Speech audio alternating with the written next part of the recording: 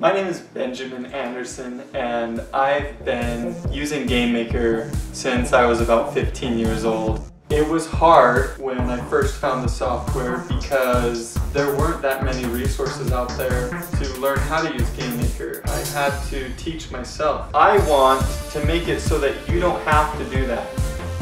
Where when you're working on your project, if you need to do something in your game and you're not sure how to do it, you can go to one place, one guide that will have everything. It will have what you need and you don't have to waste time tracking it down. You don't have to do what I've done. You can find it and you can dedicate your time your game so that you will be able to finish sooner and make your dreams and your game a reality.